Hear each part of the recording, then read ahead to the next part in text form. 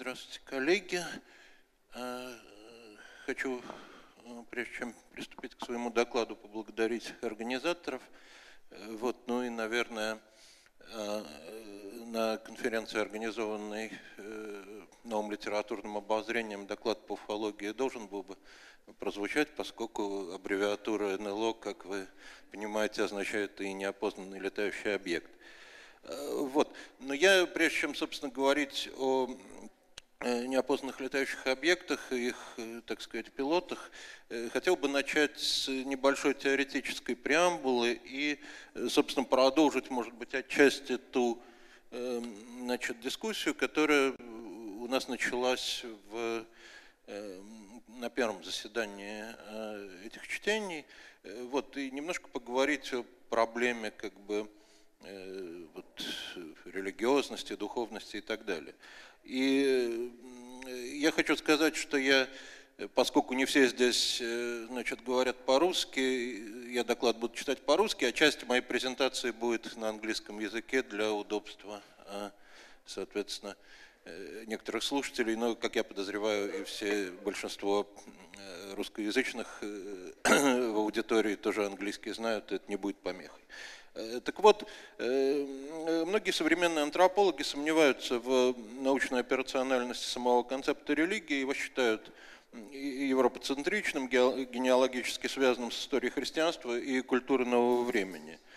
И использование позиции религиозная, секулярная, применительно к нехристианским и неевропейским культурам зачастую лишь э, мешает понять их особенности.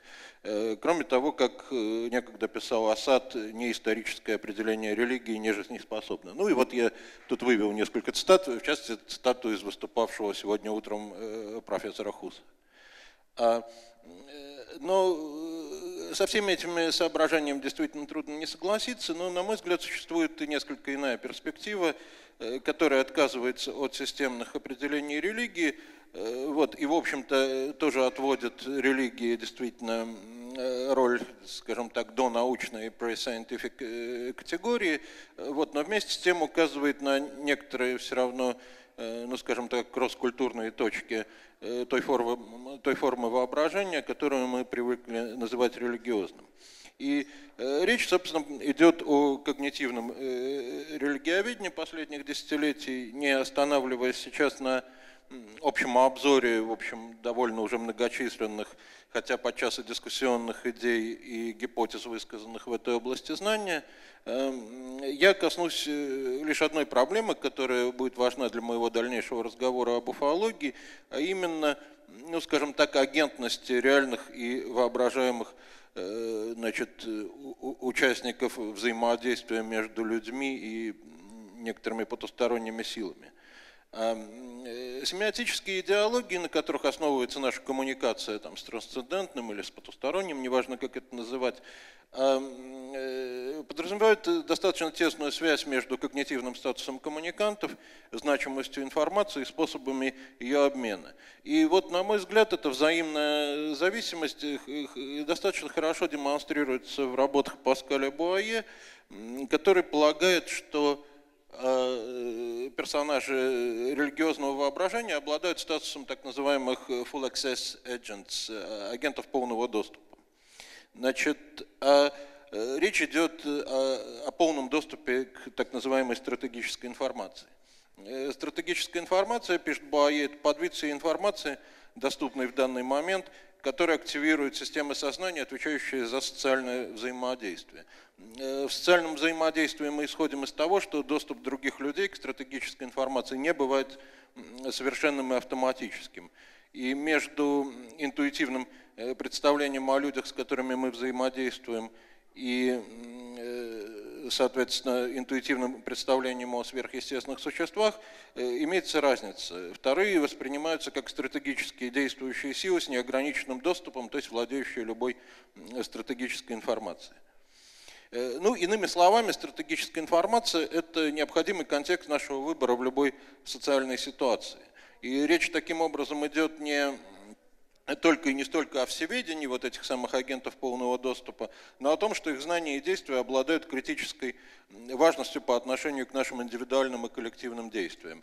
Ну, Буае, в частности, иллюстрирует эту идею следующим примером, что если сравнить два высказывания, Богу известно содержимое каждого холодильника в мире, и э, это первое. Второе, Бог знает, что вы врете, э, более привычным и более значимым окажется для нас второе – ну, хотя, правда, в некоторых контекстах э, и содержимое холодильника тоже будет иметь значение, если, скажем, если там находятся продукты, которые вы украли у соседей.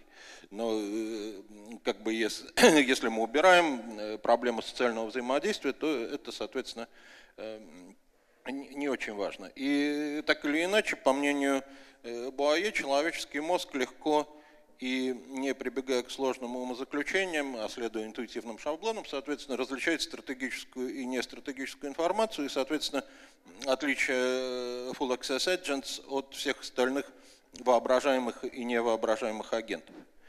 А, в целом эти соображения Буае, ну, как и его концепция религии в целом, подразумевают скорее паразитарный характер э, представления об этих агентах. То есть э, их образы нужны нам нужны культуре для, э, скажем так, эмфатических и легитимирующих функций. И вот э, он, в частности, предлагает говорить о трех типах таких агентов, законодателях, образцах для подражания и заинтересованных наблюдателях, и подчеркивать, что именно вот этот последний тип заинтересованные наблюдатели, interested parties, как правило, оказываются в центре любых э, религиозных практик. Э, вот. Ну, это достаточно схематическая модель, э, представляется мне интересной и важной, но она на самом деле оставляет довольно много пространства для вопросов, потому что когда мы обращаемся уже не к нашим интуитивным представлениям о такого рода агентах, а к процессам коммуникации между нами и ими, эм, то стоит задаться вопросом, а какой, собственно говоря, информацией эти заинтересованные наблюдатели делятся с нами. И зачастую мы сталкиваемся с тем, что информация, которую они нам сообщают, она имеет исключительно абстрактный характер и в целом вряд ли может восприниматься в качестве стратегической. Ну, самый очевидный пример такого рода, такой как, как бы бросающийся в глаза, это глоссолалия, в частности глоссолалия у пятидесятников, где сам по себе семиотический статус речи не оспаривается, но э, постулируется принципиальная затрудненность или невозможность расшифровки этой самой речи. То есть Святой Дух говорит э, устами пророка, вероятно, важные, но, собственно, никому непонятные вещи. И здесь оказываются значимыми несколько иные факторы. Это антропоморфизм сознания агентов полного доступа, их присутствие в конкретном сообществе, а также то, чьи, чьими устами Э, этот агент э, говорит. Э, вот. Ну и исходя как бы из этих, из некоторых других соображений, я вот, значит, тут уже будет по-русски, потом снова будет по-английски, значит, сформулировал бы несколько вопросов, которые Э, возникают при использовании концепции Буае. Значит, во-первых, чем определяются медиальные режимы коммуникации с агентами полного доступа, почему они в одних случаях сообщают стратегическую информацию, а в других нет, и как соотносятся их, собственно, э, намерения и поведенческие стратегии с характером передаваемой информации, потому что они вовсе не обязательно э, должны нам помогать, они могут нам вредить, они могут хотеть нас обманывать и так далее. Это Э, как бы довольно широкий спектр возможных интенций. Э, вот. Соответственно, к чему я это все говорю, к чему мне нужна эта преамбула, потому что я бы хотел как раз поговорить о, в данном случае об инопланетянах, но на самом деле и о, э, наверное, других персонажах, по крайней мере, агентных персонажах, соответственно, современного постсекулярного, Age, какого угодно, духовного, религиозного воображения. Э, вот. Э, хотел бы поговорить именно с одной стороны, думая о них как вот об этих самых агентах полного доступа, а с другой стороны, пытаясь понять, как в современной культуре происходят процессы информационного обмена, соответственно, с этими агентами, с этими персонажами. Э, вот.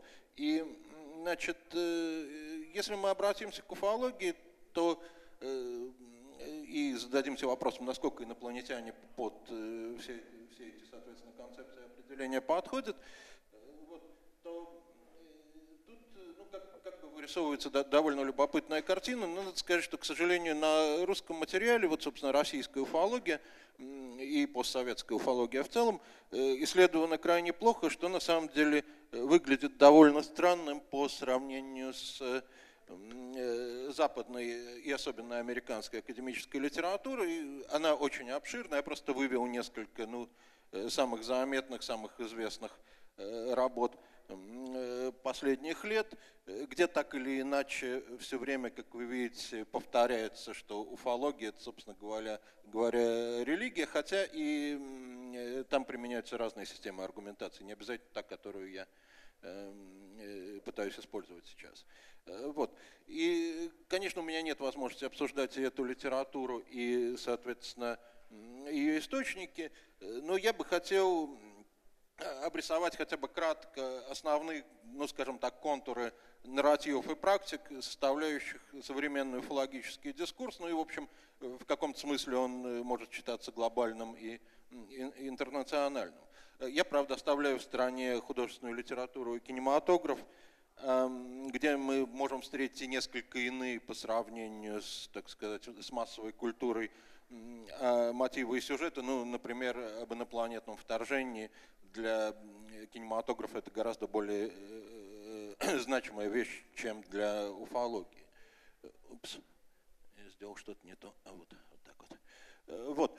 Ну и, соответственно, вот тематическую типологию, скажем так, уфологических нарративов можно э, свести к э, следующим вариантам. Значит, во-первых, это история о наблюдении НЛО, которые, ну, как-то можно назвать sighting э, или даже apparition narratives. А это вот то, что вряд ли мне удастся перевести на русский язык, это place lore, то есть это сюжеты, мотивы и практики, связанные с Э, местами воображаемых значит, катастроф, неопознанных летающих объектов, местами посещения Земли, так называемыми аномальными зонами. Э, но это довольно важная вещь именно для э, повседневных практик современных уфологов.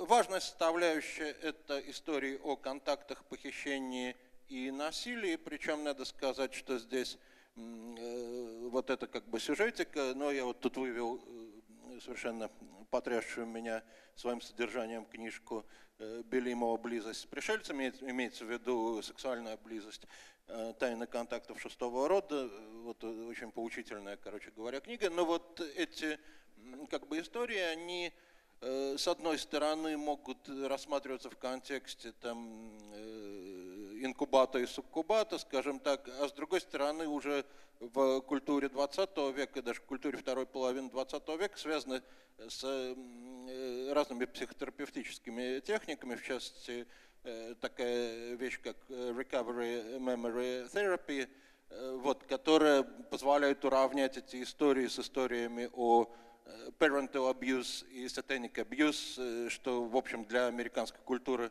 значительно важнее, чем для российской, но в российской так или иначе тоже присутствует. Затем это э, отдельное тематическое направление, это так называемая гипотеза палеоконтакта или значит, история о древних астронавтах. Затем значит, конспирологические нарративы, которые могут рассказывать и о том, как правительства скрывают посещение инопланетян, и про то, как, э, собственно, инопланетяне находятся среди нас там в виде рептилоидов и как-то иначе – Э, вот. И, наконец, последнее, скорее, это практика, чем значит, э, э, нарративная модель, но тут нарративы тоже будут присутствовать, это ченнелинг. Вот.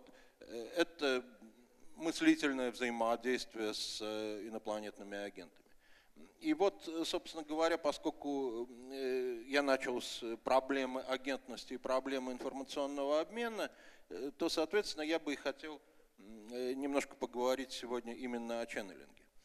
Э, ченнелинг – это вообще очень важная вещь для э, культуры New Age. А, вот это, эти практики информационного обмена с воображаемыми сверхчеловеческими агентами и трансперсональными силами Вот, это действительно одна из важнейших частей как бы, культуры New Age.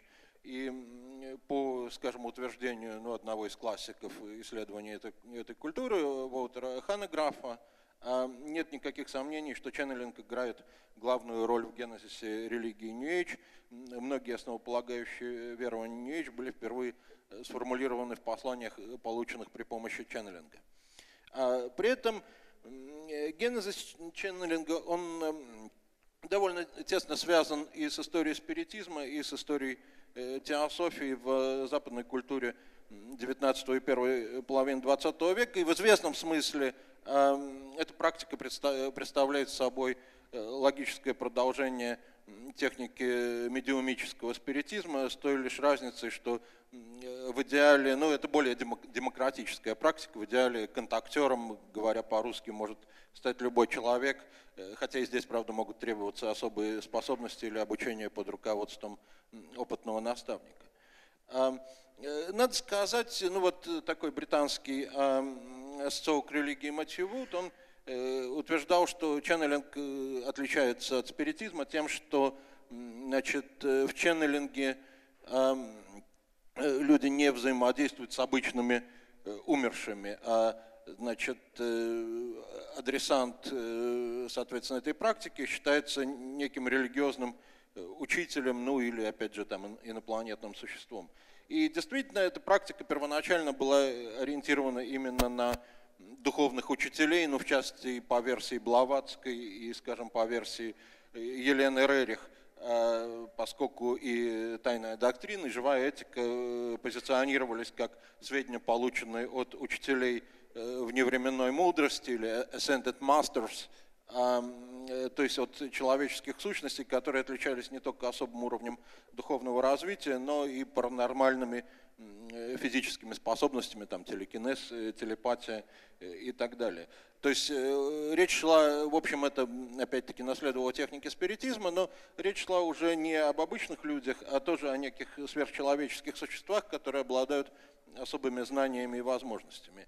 И э, эта традиция, в принципе, в классических опытах ченнелинга 1960-х уже годов э, продолжается. Скажем, Джейн Робертс, одна из значит, первых, так сказать, ченнелеров известных, э, получала свои духовные знания от сета, энергетической сущности личности.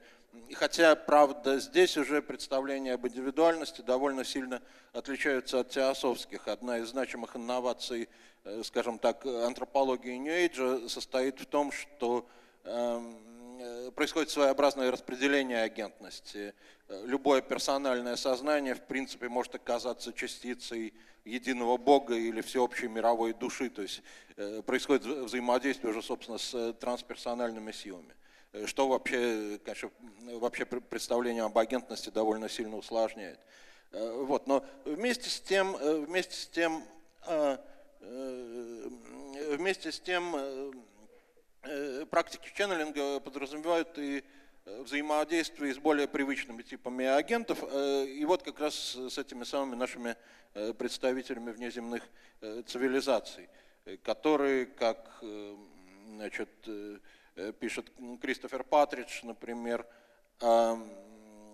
подобно благосклонным божествам, заботиться о планете Земля, о человеческой расе, о земной политике и о благополучии отдельных людей. Э, вот. Ну и хотя историю о, так сказать, о том, как появляются инопланетяне в качестве персонажей западного оккультизма, можно, в принципе, начинать и со Сведенборга, но понятно, что вот э, их значимость именно для практик ченнелинга тесно связана с уфологическим бумом уже середины второй половины 20 э, века, ну и не закончившимся, не закончившимся, наверное, буме, хотя, может быть, сейчас он и не так заметен. Э, вот. А, короче говоря, адресатами, адресантами ченнелинга могут оказываться Э, духовные учителя э, и холистически понимаемые трансперсональные силы, но при этом и инопланетяне. И, в принципе, ну, если я успею, конечно, об этом поговорить, выясняется, что и умершие, и предки, в принципе, в каких-то ситуациях тоже могут возвращаться в практику ченнелинга, по крайней мере, в нашем российском контексте. Вот. А, но здесь, опять-таки, стоит вернуться к проблеме э, медиальных режимов и их соотношение с э, характером э, передаваемой информации. Э, вот, и не останавливаясь на этом подробно, хочу просто подчеркнуть, что на самом деле эм, в содержательном отношении, по крайней мере, если говорить о российском материале, ченнелинг может быть довольно разнообразным, потому что это сообщаться могут очень абстрактные метафизические и паранаучные значит, вещи, э, важную довольно часть для э, постсоветской культуры ченнелинга играют предсказания космических катастроф и трансформации физической природы человека, ну что, в общем, находится в некотором русле а, и глобального нью-эйджа тоже. А потом, что может быть в большей степени характерно для российской, может быть даже для современной ситуации, это политические прогнозы – Э, различные формы моральных суждений, э, вот, э, раскрытие личности и психотерапия, ну вот то, что можно назвать self-divinity, и, наконец, собственно, целительство, но ну, это не, не очень типичное для российской традиции вещь. Ну, например, вот в Израиле как раз есть ну, такие Age клиники, где незримо присутствующие инопланетяне просто исцеляют э, людей от болезней. Э, вот. Э, так что, в принципе, возможна и такая вещь, когда уже, собственно, никакой информации не сообщается, а просто происходит некоторое взаимодействие с инопланетными существами. Ну а если говорить просто в качестве примера политических прогнозов на русском языке, вот, значит, одна такая дама, которая взаимодействует с в данном случае это э, тип Ascended Master, да, таежный старец ведун. Э, вот он э, сообщает о довольно неприятных событиях, которые надвигаются на Святую Русь Великую, развязывают войну с Россией, враг коварен и жесток, приведет к Третьей мировой ядерной войне, ну и так далее. Вот такого рода вещи. А, значит, а сколько у меня еще времени осталось? Минут пять где-то, да? Хорошо. Значит, и когда вот мы смотрим на все разнообразие этих посланий и, значит, на некоторую тоже кажущуюся эклектику их адресантов, потому что, ну, там действительно вот мы можем разделить их на несколько типов, но при этом все равно как не очень понятно, как типы адресантов э, соотносятся с типами информации. Ну, на первый взгляд кажется, что это ну, нечто совсем такое, как, как бы хаотичное, эклектичное, и непонятно, что с этим делать. Но на самом деле, по-видимому, э, чтобы понять, как это все происходит, нужно действительно заниматься этнографическими исследованиями ченнелинга в, в рамках довольно ограниченных сообществ и сетей, смотреть, как это работает там. Я вот хочу один привести пример, постараюсь это сделать кратко. Пример, касающийся взаимной связи между статусом э, адресантов, содержанием их посланий и социальным контекстом обнародования этих посланий. И речь пойдет о религиозном сообществе, которым я некоторое время назад занимался, о церкви Последнего Завета, известной также как движение виссарионовцев, значит, основанный в 91 году художником-любителем из Минусинска, который, значит, утверждал, что он новое воплощение, ну и продолжает утверждать, что он новое воплощение Иисуса Христа, и пришел теперь к людям под именем Виссариона. Вот. Э, но при этом, собственно, само движение Э, к христианству не, не очень большое отношение имеет, скорее в большей степени связано с, э, как раз э, в существенной степени связано с Age культурой. Вот. И вот что интересно, значит, что, собственно говоря, само, как бы, сами сведения о том, что Виссарион это, а тогда Сергей Тороп, это Христос, который пришел снова на Землю, чтобы спасти человечество, э, была получена при помощи ченнелинга. То есть на, на самом деле в формировании этого движения как раз как можно, ну то есть прямо иллюстрируя идею хонографа, ключевую роль играл сеанс ченнелинга в уфологическом клубе города Минусинска, где, значит, один из э, друзей, собственно, будущего Виссариона Христа, а Владимир Плесин, я вот не буду зачитывать, соответственно, цитаты, а вы их можете читать, э, получил, соответственно, э, сведения о божественной миссии своего друга от инопланетных адресантов. Вот. А но надо сказать, хотя, соответственно, именно инопланетяне сообщили нам о том, что снова Христос пришел на Землю, что довольно скоро э, сам Виссарион э, начал критиковать этот тип, тип ченнелинга как опасный и губительный для человечества.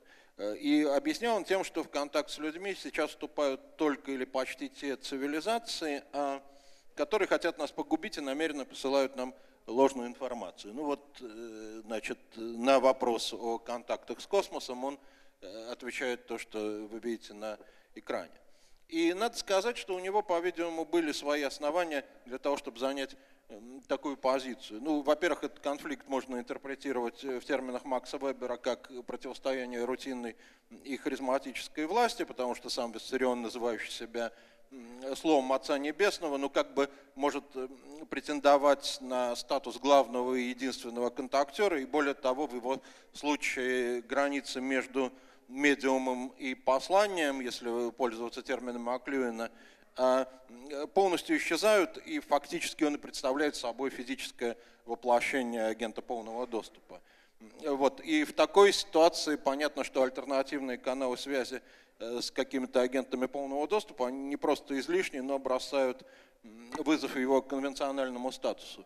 Но, с другой стороны, там было и одно практическое обстоятельство. Дело в том, что э, э, в первое десятилетие существования Церкви Последнего Завета значит, в ней прошло просто несколько волн эсхатологических паник, которые были, собственно, обусловлены ченнелингом. То есть все время Эм, инопланетные существа сообщали о грядущих катастрофах, э, о необходимости очень жестких диетарных э, предписаний, о переходе человечества э, в новое физическое состояние. В общем, все это действительно довольно как, как бы на жизни общины отражалось не очень хорошо, и даже руководству движения приходилось как, как бы Э, выступать с успокоительными разъяснениями о том, что может быть катастрофа еще и не случится.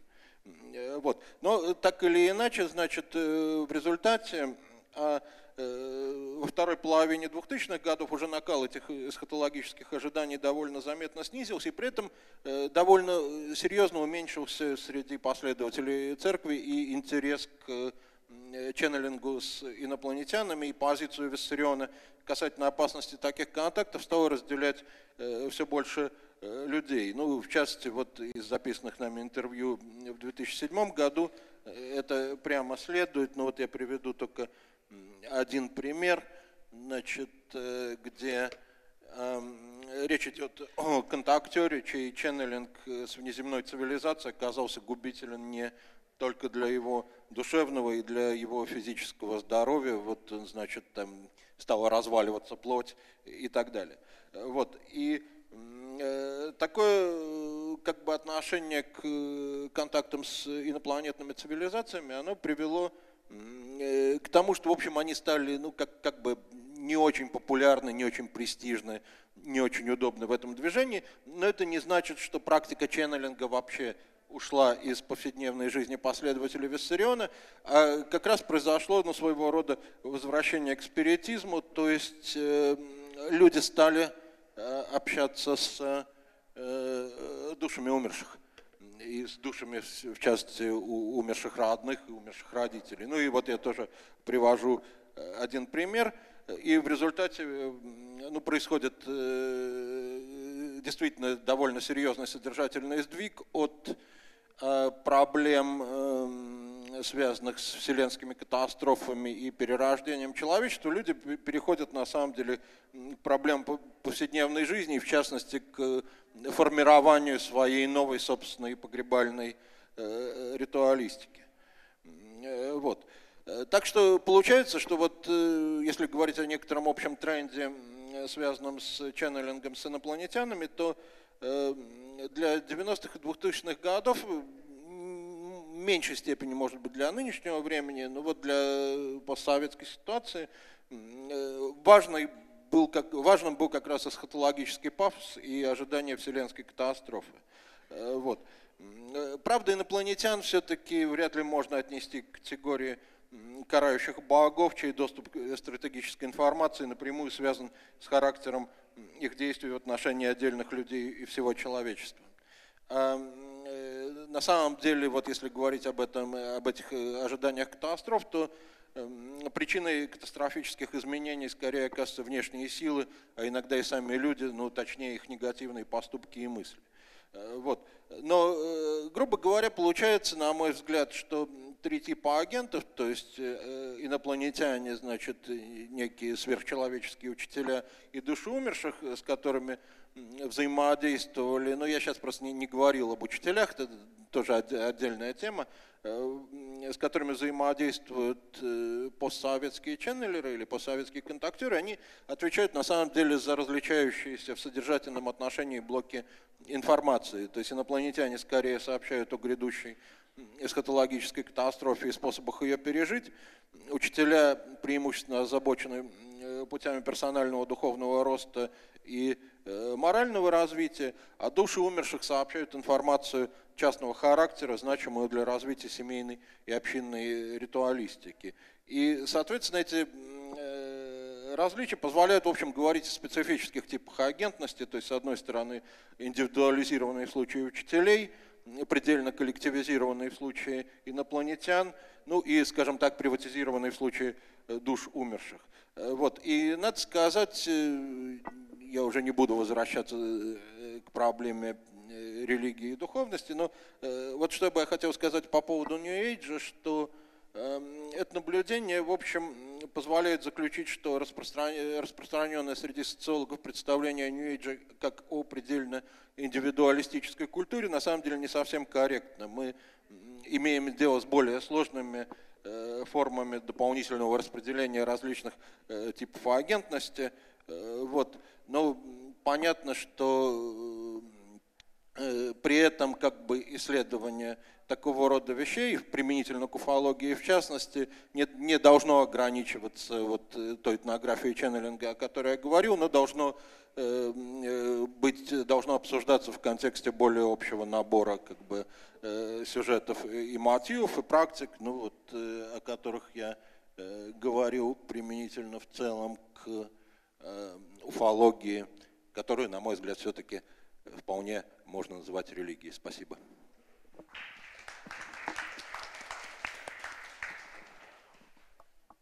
Спасибо большое, Александр. Мне кажется, это тема для отдельной конференции. Коллеги, а, ваши вопросы, комментарии.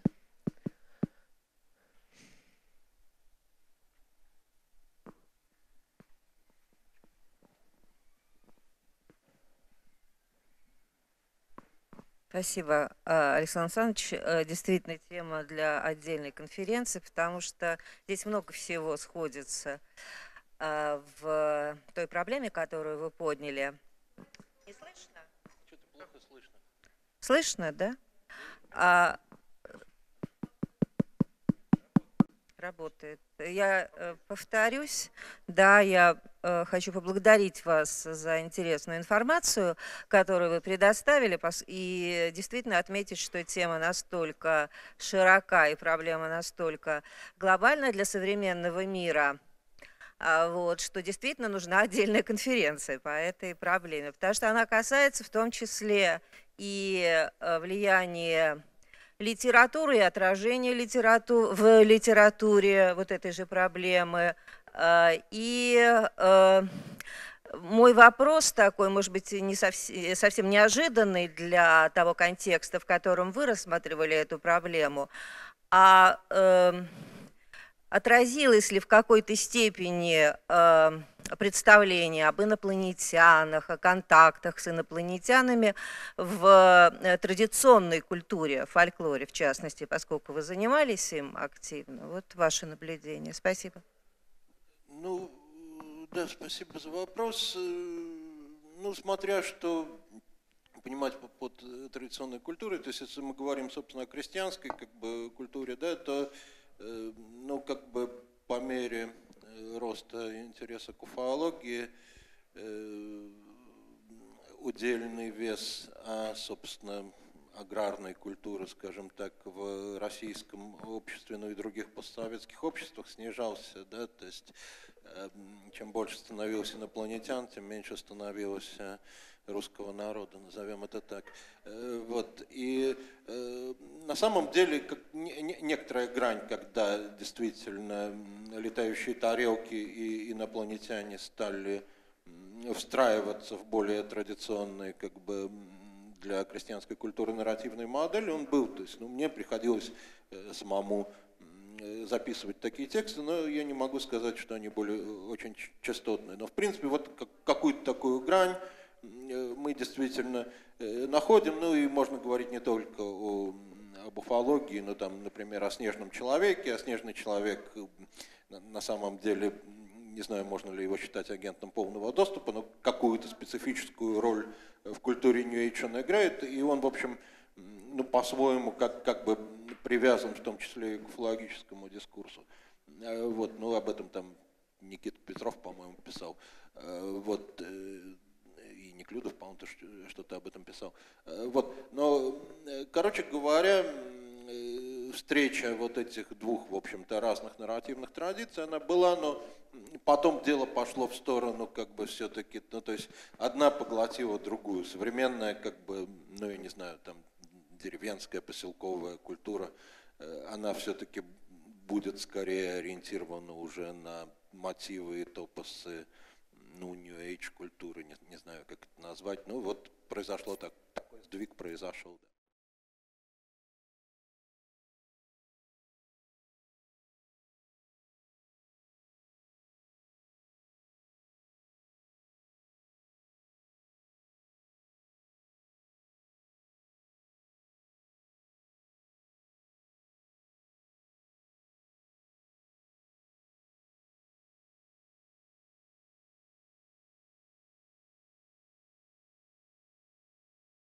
Такой.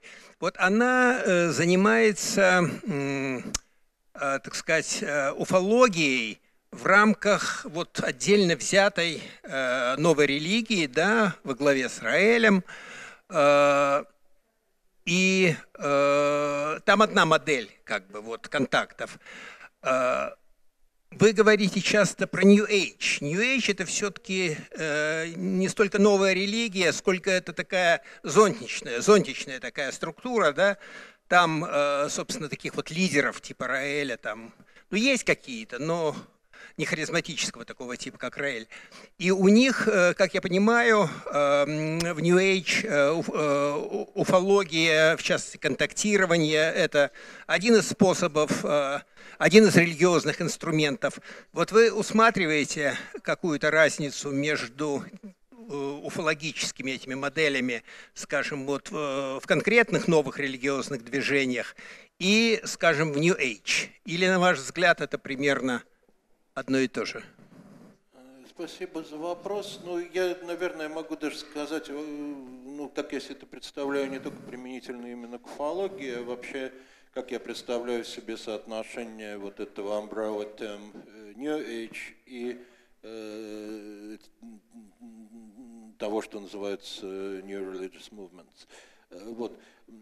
На мой взгляд, хотя тут, конечно, ну, исторические выкладки могут быть достаточно разными, но э, вообще э, вот история как бы культуры New Age э, в широком смысле, опять-таки, если следовать ханографу, не, не, не сенсу стрикто, а сенсу лато, э, вот, она, э, собственно, в первые десятилетия своего существования, ну, в большей степени э, располагала к формированию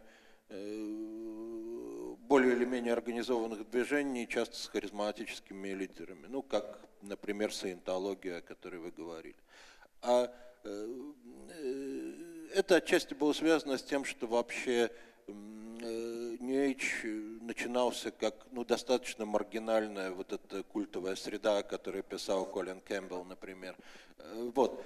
Когда New становится частью массовой культуры, то мы параллельно видим на самом деле угасание организованных движений с харизматическими лидерами. Их становится все меньше и меньше. Если мы возьмем Э, в качестве примера будем говорить не, вообще не, не глобальной истории, а вот э, конкретно о э, постсоветской религиозной истории, что мы увидим. Значит, у нас появляются в начале три эсхатологически ориентированных движения, ну, Богородичный центр там плюс-майнус, как бы не на самом деле там не тоже очень много. Вот. Но а Великое Белое Братство из Малос и Э, как раз церковь последнего завета, но это, с одной стороны, движение, основанное на практиках и идеях New Age, с другой стороны, с харизматическими лидерами, с какой-никакой организацией, с эсхатологией и так далее. Дальше мы уже видим вот э, немножко позже появляющееся э, движение анастасиевцев с уже воображаемым как бы лидером, да, это уже совсем другое, другая организация и Э, основанная на сетевом принципе. И чем дальше как бы New становится все больше, больше и больше э, важной частью массовой культуры, тем меньше мы видим организованных движений. Ну и, видимо, приблизительно то же самое можно говорить и, в частности, об уфологическом дискурсе специально. Спасибо большое.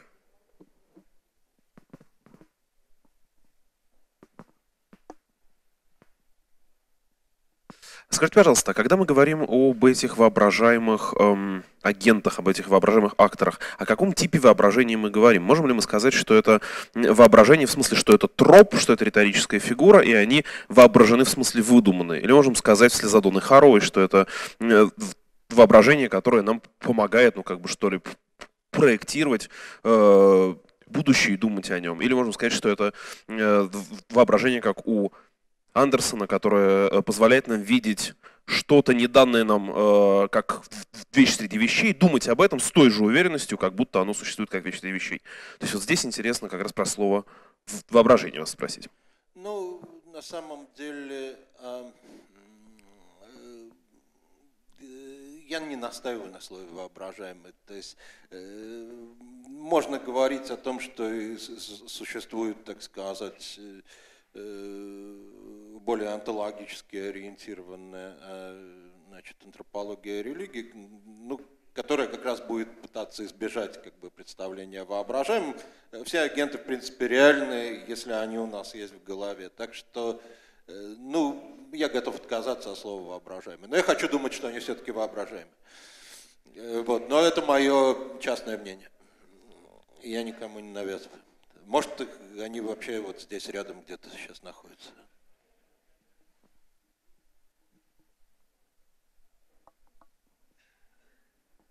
Коллеги, вопросы? Александра, а у вас планируется какая-то публикация по этой теме?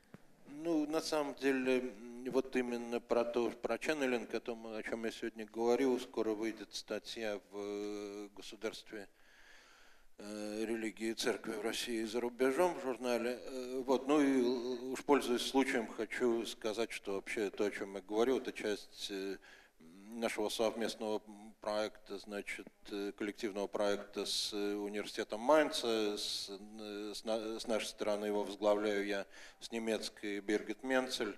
И проект вот только начал, ну то есть прошел год нашей работы. И он посвящен как раз New Age в позднем, советском, в позднем советском обществе и в постсоветском обществе. Так что ждите публикации, я надеюсь, что они появятся. Спасибо. Э, Спасибо большое. Знаете, если э, вопросов нет, у меня буквально еще маленький вопрос, немножко связанный с соображением. Э, вы совершенно правильно провели, на мой взгляд, эту линию преемственную от теософов, от Блаватской с ее махатмами к нынешним актерам, Ну, та разница, разница только в том, что Махатма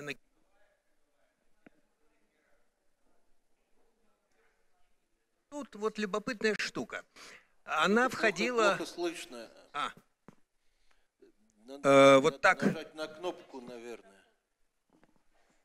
Нажмите на кнопку на микрофоне. а вот так, да? Да, да. Вот Ага. Э, У меня такой, э, собственно, вопрос, вопрос техники на самом деле. Вот смотрите, Блаватская, она э, входила в контакт э, с Махатмами, да, пользуясь, э, ну, тем, что э, оккультисты называли имагинация. Ну, это, в общем, э, не совсем э, не совсем синоним того, что по-русски называется воображение. Все-таки это оккультная некая техника имагинации, да, то есть когда она входила в эти астральные миры и входила в контакт. Так вот, мне любопытно, вы, судя по всему, какие-то проводили полевые исследования, то есть вы общались э, с этими контактерами. Вы их не спрашивали, э, э, как они собственно, вот чисто технически входят в контакт с этими самыми инопланетными сущностями. То есть какие тут техники? Техники Блаватской я более или менее знаю. А вот э, у этих э, товарищей, у них есть какие-то э, ну, специальные техники по вхождению в контакт? Или они не любят говорить на эти темы? Нет, ну на, на самом деле как, как бы могут быть какие-то техники, мо- могут не быть. На самом деле, если как бы вы хотите этому научиться, то и здесь, в Москве, и в Питере э, достаточно курсов э, ченнелинга, э, вот, и э, вас могут этому научить. Но в принципе, э, если говорить вообще об описаниях, э, это все многократно описано, в том числе там, и на Западе, и в России. Э, У некоторых людей существуют какие-то техники там, э, медитативные, как правило.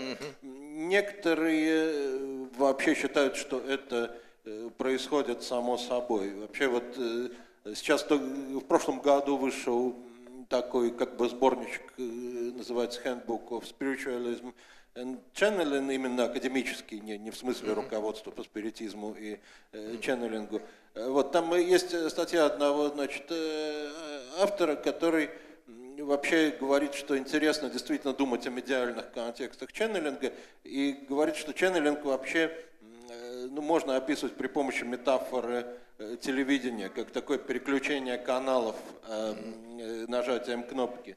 И, в общем, э, такое впечатление, что совершенно без всяких техник э, специальных это, это может быть достигнуто. То есть это действительно вот проблема именно медиальности, проблема того, как, как это все вот с точки зрения там Маклюина рассматривать, но она действительно довольно интересна, ну не только Маклюина, там Бир, м, Биргит Майер, допустим, ну я уж сейчас не буду просто занимать э, время, но это довольно любопытно.